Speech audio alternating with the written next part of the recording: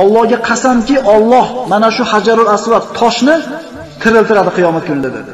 Lahu aynani yabsiru bihima, yubsiru bihima va lisanu yantiqu bihima. Ikkita ko'zi bo'ladi ko'radigan va tili bo'ladi gapiradigan. Va kim unga salom berib, unga bir salom bergan bo'lsa, albatta guvohlik ko'tardi. Hadislarda keladi, Hajarul Aswad bu qora tosh degani tarjimasi.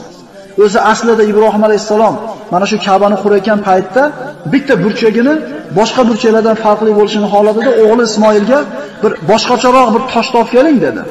Shu yerga qo'yaylik, ajralib tursin boshqa burchaklardan dedi.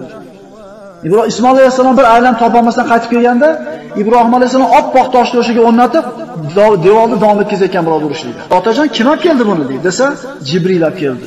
Jannatdan olib chiqarilgan u tosh birodar. Oq bo'lgan. Savodat huzunubi bashar ibn Adam. Rasululloh sollallohu alayhi vasallam aytdi, odamlarning gunohlari uni qoraytirib tashladi.